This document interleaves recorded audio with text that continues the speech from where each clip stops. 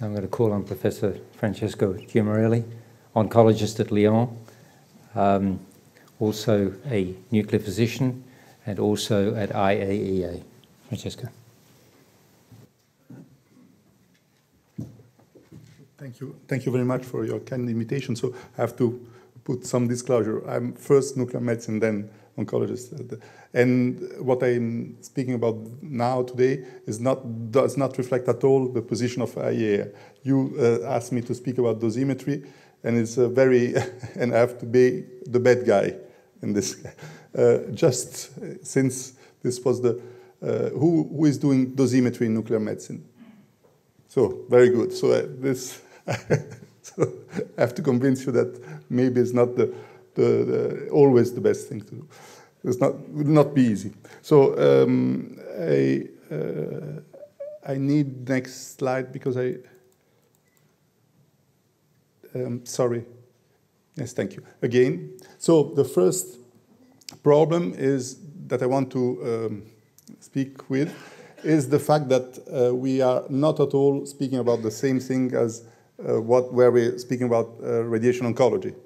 The, the, the, the, things are not at all the same. Next, please. Because the, in the first time we have absorbed dose, to target volume, and it can be precisely evaluated. Next. While, and even the physicists say that, the tumor absorbed dose cannot be really predicted for technical or practical reason. So this is the, the first, um, for tumor dose, this is very difficult to do. Next, please. And I would like to speak with, to, to talk with you and to analyze with you all the confounding factor of our discipline. Next. First is microdosimetry. Uh, we, we know, and uh, Professor Bao also said the, the, the pathway of, um, of the uh, radiation that we uh, uh, use are not the same. And uh, the, the reason, next, why we speak about Monte Carlo dosimetry is not by, by chance, it's really a chance. Yeah. Next, uh, also imaging parameters. So in sometimes like uh, for iodine, we have the same uh, agents, the same theranostics agents, but it's not always the same. For instance, lutetium is not the same as gallium PSMA or DOTATATE and so on the image resolution is not very good for our discipline. This we, we all know. So the, the fact to, to interpret the image and to go to uh, mathematical parameter is not always the same. Next, please. Now, uh, again, please. The dose rate. This is, uh, on my opinion, the, the most important thing. Next. In radiation oncology, the dose is given in a blitz. Next. In nuclear medicine, the dose given by, clearly, I agree, completely agree, it's not is an activity we give, but the dose is expressed in, in days, weeks. Next.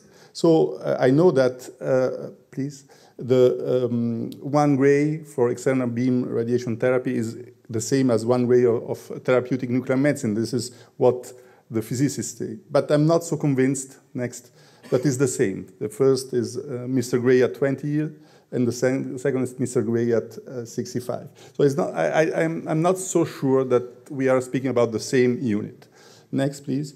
And then there is also another thing that are radiobiology. radiobiology. Next um, the, uh, the external beam radiation therapy is as good uh, extrapolation. We can, I don't think we can give exactly the same extrapolation. Next, please.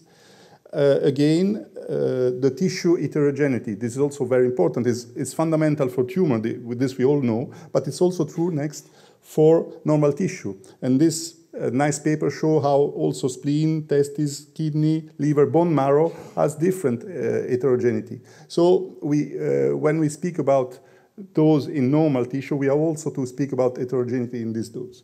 Next, and this also is something new and also important, is that we, are, we have not all the same uh, mechanism of DNA repair. And, and there are some, we know that there are some populations that are specifically uh, um, weak for radiation repair. So when we are speaking about also toxicity, we have also to, to think about this mechanism of repair. There is a great individual variability. Next, please. So in conclusion, on my opinion, there are some errors that are valid for tumor and non-tumor, uh, non-target tissue. That is tissue heterogeneity, inaccurate microdosimetry, poor image quality, individual variability, and extremely low long dose rate. Uh, for this, next please, we have 20 to 50% of errors for the first. These are uh, known and not known for the others. Uh, next, please. Uh, on my opinion, therefore, in, in clinical use, and this is very important, what I'm thinking is about clinical use of dosimetry, there is a lack of prospective randomized phase, two, phase 3 trial. There is no clinical evidence for dosimetry to individually optimize activity. There is an imbalance between the accuracy and the complexity of the procedure.